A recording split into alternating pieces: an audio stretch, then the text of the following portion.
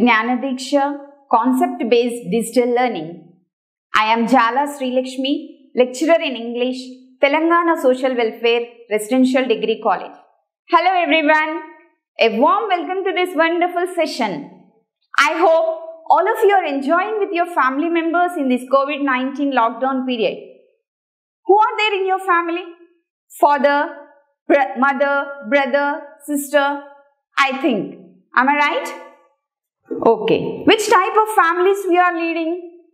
Is it nuclear family or joint family? I hope most of us are living in nuclear families. Nowadays, all of us are living in nuclear families. But in ancient time, in the olden days, people used to live in joint families. Still, some families may be uh, having their grandparents along with them. Have you ever observed the lives of the old people around you? Have you thought of them? How are they leading their life? Is the treatment of the family members comforting them? Have you ever felt sad of the ill treatment meted out to them? So, with the neglected treatment of the old people, I am going to, with this concept, I am going to start the session with a beautiful quote of Eleanor Roosevelt. Beautiful young people are accidents of nature, but beautiful old people are works of art. I repeat again, beautiful young people are accidents of nature, but beautiful old people are works of art. Do you agree with me? I think all of you will agree. Before going into topic, I am going to deliver a small moral story to make you clear in which topic I am going to deal. A frail old man went to live with his son and daughter, daughter-in-law and an six-year-old grandson. The old man's hands trembled, his eyesight blurred, and his steps faltered. The family ate together at the table, but the elderly grandfather's shaky hands and failing eyesight made eating difficult. One day, while he was eating, he broke his glass bowl. All the food material was spilled on the floor. You can imagine the situation. The son and the daughter-in-law became irritated with the mess created by the old man. We must do something about father, said the son and daughter-in-law. I have had enough of thrill of this spilled food on the floor, noisy eating, etc. So they planned a, and arranged a separate table to sit along um, separately in a corner of a room. From then, they were served separate food, uh, separate glass, separate table. Everything is arranged to the grandfather. Tears used to come out of his uh, eyes because eating alone was difficult for him. So the husband and wife, both of them were happy now because as they arranged something separately for them. One day before supper, the mother noticed her son playing with some wooden scraps on the floor. She asked the child, What are you making, my son? Just as sweetly as the mother asked, the boy responded, I am making a little wooden bowl for you and dad to eat your food when you grow old. So the, the six-year-old boy smiled and went back to work. But the word so struck the parents that they became speechless. Tears started to stream down their cheeks. From uh, though no word was spoken, both knew what must be done from the day. The grandfather was served on the usual dining table along with family members with proper love, affection. Sometimes we learn so many things from children. Is it true? There was a saying by William Wordsworth, a child is the father of man. So from this story, we understood you reap what you sow. In today's session, I am going to present a poem by Dilip Purushottam Chitre, Father Returning Home. Father Returning Home by Dilip Chitre. The theme of the poem is it deals with the routine of the modern man in his old age, sense of isolation and alienation, purposeless life, generation gap, cultural identity, monotonous life, lack of freshness, existence of meaningless life, sense of disgust, sense of bleakness of old man's life, man's estrangement from a man-made world. So with this theme, Dilip Chitre has written the poem Father Returning Home. Before going into the poem, let us have a look or glance about the poem, the great Indian poet Dilip Purushottam Chitre. His full name is Dilip Purushottam Chitre. He was born in Baroda on 17 September 1938. He was a bilingual writer. He wrote both in Marathi as well as English. He published eight English poetry collections, out of which one is famous as his Varies. His collections of Marathi Bhakti poet Tukaram says Tuka, which became very famous. His writings reflect urban culture with much more focus on Mumbai.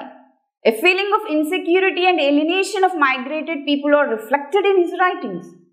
He worked as director of Indian Poetry Library Archive and Translation Center at Bharat Bhavan Multi Arts Foundation. Shesha is an English translation of selected Marathi poems. He received many awards from Maharashtra government and Sahitya Akademi Award from Indian government in 1994 for Ekoon Kavita. He got the Sahitya Akademi Award for Ekoon Kavita. He had many films to his credit, including the feature film, many short films, and about 20 video documentaries. His work as a scriptwriter was also exemplary. Okay, coming to the poem, let us feel the poem.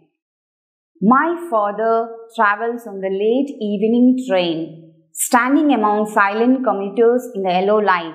Suburbs slide past his unseeing eyes. His shirt and pants are soggy, and his black raincoat stained with mud and his bag stuffed with books is falling apart. His eyes, dimmed by age, fade homeward through the humid monsoon night. Now I can see him getting off the train like a word dropped from a long sentence. He hurries across the length of the grey platform, crosses the railway line, enters the lane. His chappals are sticky with mud, but he hurries onward. Home again, I see him drinking weak tea, eating a stale chapati, reading a book. He goes into the toilet to contemplate man's estrangement from a man-made world. Coming out, he trembles at the sink, the cold water running over his brown hands. A few droplets cling to the graying hairs on his breast.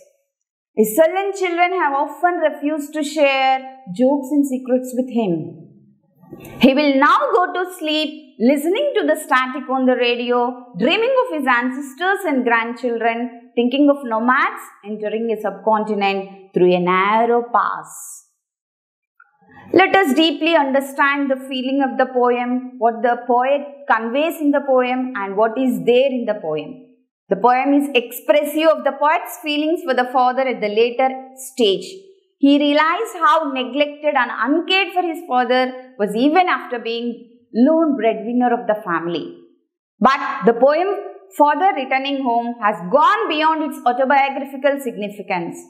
It is now an account of any old man who does the hard work for his family but leads a monotonous life where no one is there to take care of them, to converse with them, to share their feelings with them, to understand their feelings with them, let us go deep into the poem and experience the feeling of the old man because all of us have to come are going to come across this old age in our future. It is a universal truth that all of us will experience the old age. Am I right? It is not exemption to anybody now. It is true. However, aging is a natural consequence of being alive. It happens to every cell in our bodies and to every other body on the planet. Every living thing gets older.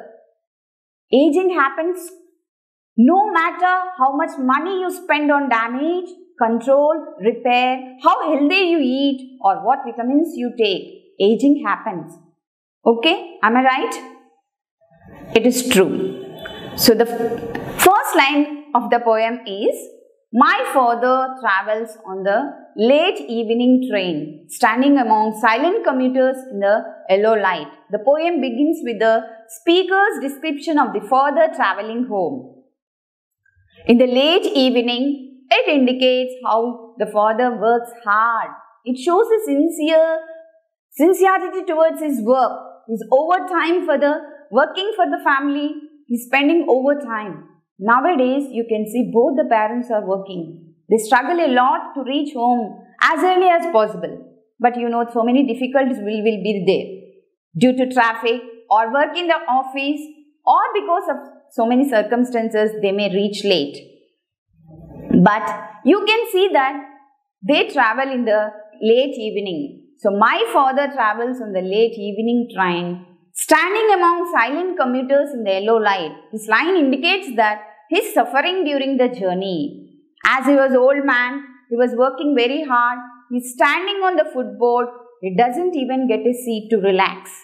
The silent commuters. Commuters means those, the passengers, those who are in the train or the bus, who are working, they don't have any communication between each other. All of them are in a fatigued and tired condition. Everybody wants to go home early. And they are not even friendly to share a seat for him. Yellow light indicates the dullness, the lack of cheerfulness. All these things further intensify his agony and make the journey monotonous. Suburb slide past his unseeing eyes. His shirt and pant are soggy and his black raincoat stained with mud and his bag stuffed with books is falling apart. His eyes dimmed by age fade homeward through the humid monsoon night. Suburb pa- sli- slide past his unseeing eyes. Suburbs means the sceneries that are sliding past. When he is sitting in the train, the poet has no attention to look at the sceneries or the outskirts or the whatever the mm, scenes that are coming uh, when he is in looking from the train. For example, if you take any child, first time when they travel in the train, they show a lot of excitement and anxiety to look out of the window. But as this old man is not traveling for the first time and he may be all the years in this work, he might have passing the same routine. Okay, so he's not paying any attention as the child shows. His unseeing eyes means vacant, dull look. This shows that he's not having uh, any concentration towards anything. Next, his shirt and pants are soggy and his black raincoat stained with mud. It indicates his economic condition is poor. But you can see his bag is stuffed with books. That means he is knowledgeable person.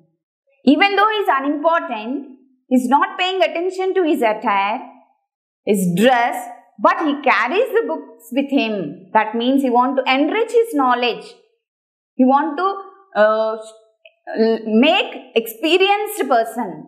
He was going to learn from the that we have to learn from the old people. The that experiences we get from the elderly people. So elderly people at home are like living golden treasure. The grey hair of experience is the splendor of the old. They have lot of experiences in their life. Even now, he is still in the mood to read the books. This indicates that lot of interest he want to gain. He does not show any attention towards his attire. Now his eyes are dimmed by age, fade homeward to the humid monsoon night. That means you can see his eyes are dimmed by age. The dullness, the dimness and that is in this humid monsoon also. He has to move forward. The gloomy atmosphere also adds dullness to his life. Now I can see him getting off the train like a word dropped from a long sentence. The poet imagines his father down from the train. He compares. Here there is a simile. Like a word dropped from a long sentence. It indicates that if a word is dropped from a big sentence, that does not change any difference.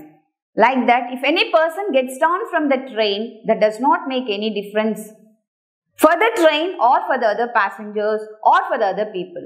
Am I right? Okay.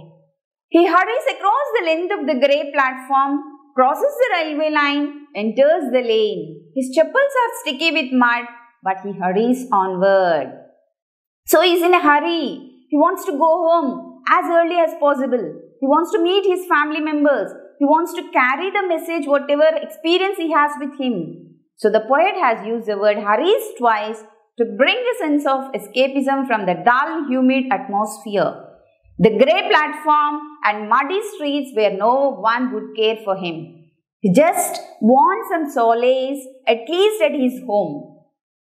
In the train, he was neglected. At least he may be given much attention in the home. So you can also imagine the parents working and reaching home with so many hurdles and difficulties. Home again. I see him drinking weak tea, eating a stale chapati, reading a book. Okay, hurry, he will be coming across all, crossing all these railway lines, the hurdles in the monsoon night. Then here you can see that again at home also it depicts the same isolation. Like usual days, he comes home hurriedly. There he sees again the same thing. He drinks the weak tea, eats the stale chapati and read the book. That means nobody is there to hug him, to show attention towards him to share their experiences with him, to spend time with him. He doesn't even complain about this predicament. Nothing to do, he starts reading a book while drinking weak tea, eating a stale chapati.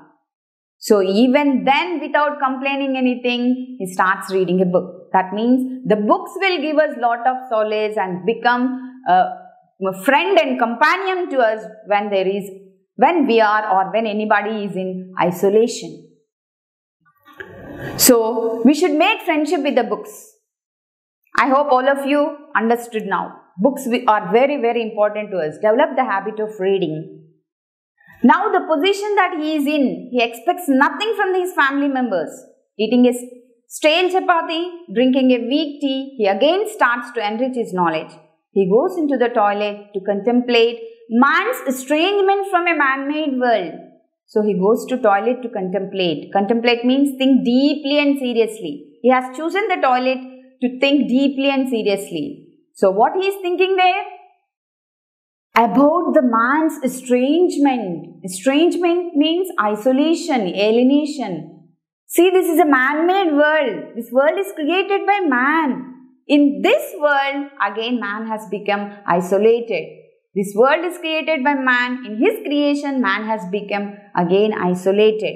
This he started thinking in the toilet. So, with that feeling, with the dull feeling, he goes into the toilet to think deeply. So, what is the situation?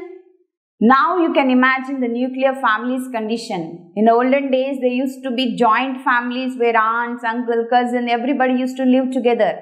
They used to spend time with each other. So they had no isolation like this. But nowadays, in this man-made world, you see big, big apartments. So many people are there. Population is high. But when we take each person, every person is unknown to each other. Each are strangers, strangers to one another. They behave like strangers.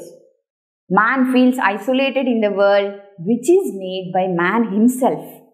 You can imagine the condition now. The father is indeed aware of his strange situation and hopes to find some comfort from his family. But the ray of hope also diminished as he reaches home.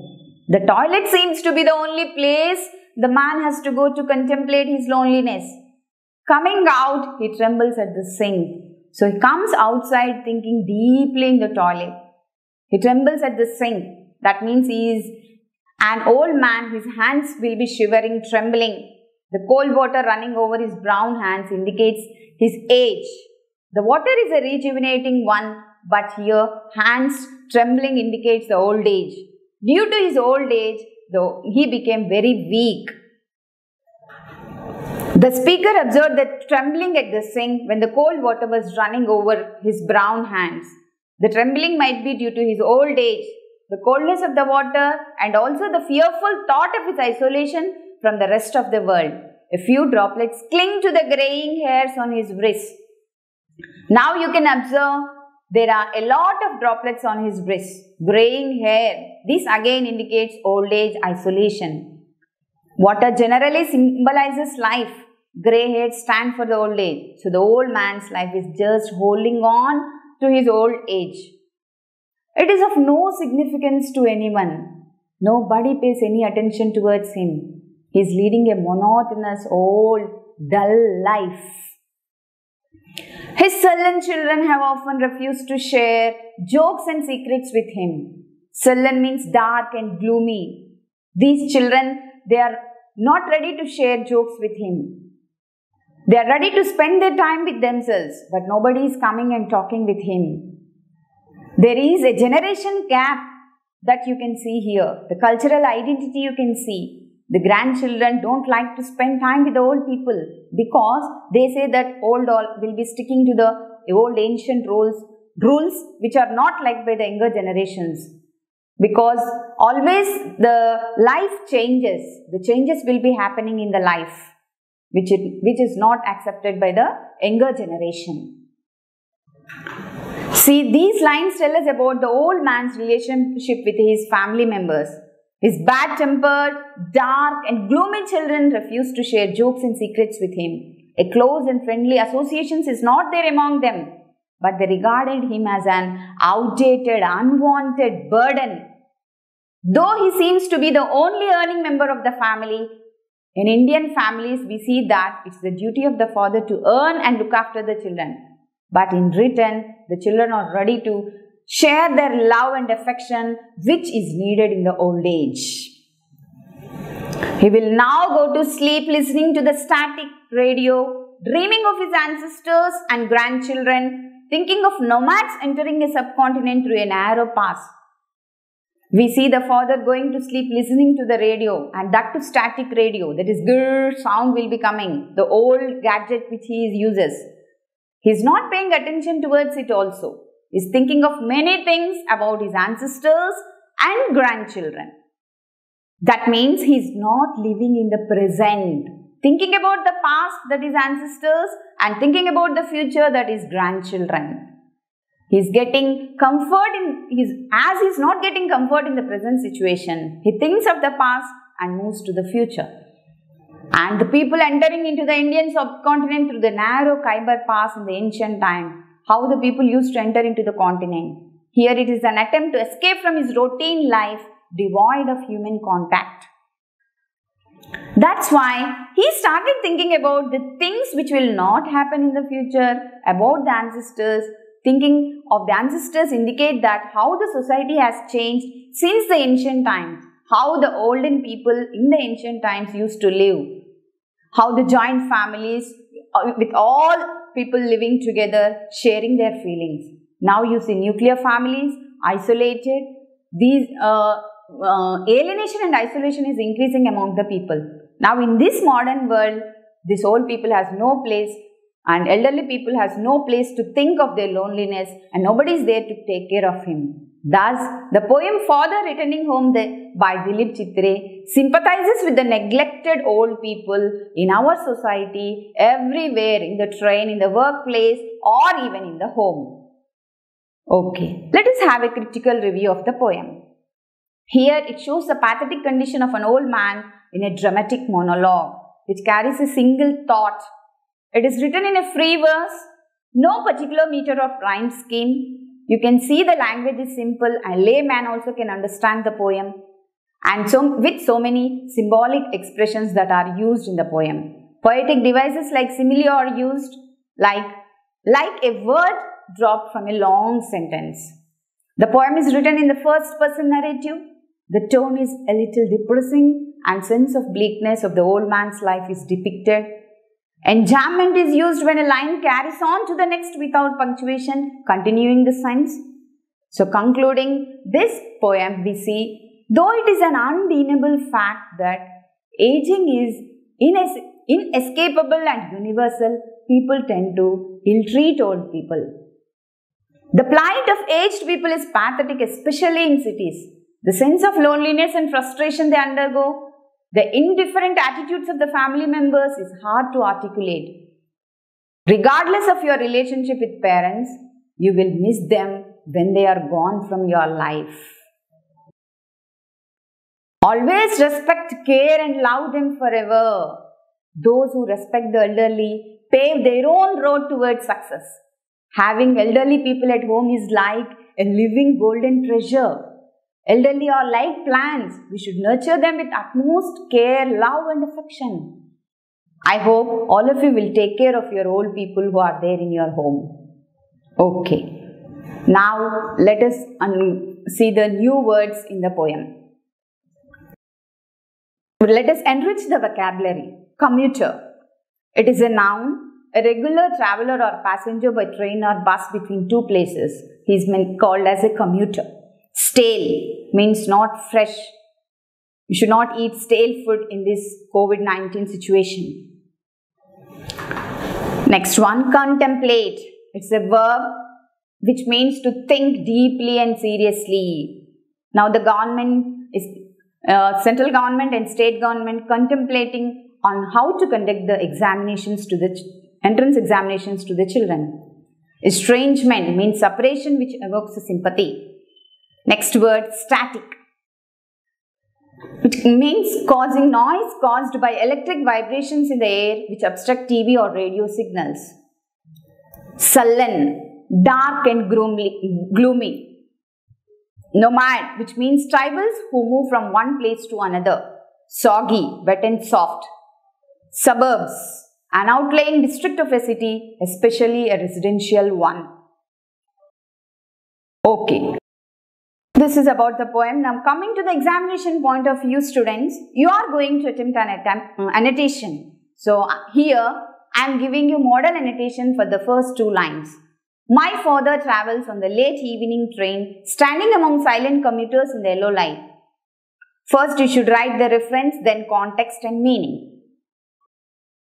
When you are writing the reference, you should write from where it is taken. These lines are taken from the poem Father Returning Home written by Dilip Purushottam Chitre, a bilingual writer. Context The poet presents a feeling of detachment that the modern man undergoes in an indifferent family and society. He portrays the theme of isolation experienced by an old man through the narrator's father who travels by train in the city. Next meaning. The narrator is the son of an old man, a commuter in a train. Though he is in the midst of many passengers, he feels isolated from those around him. In spite of his age, he is compelled to travel regularly on crowded trains. He is sandwiched between the silent commuters. The portrayal of the old man highlights his fatigue and isolation.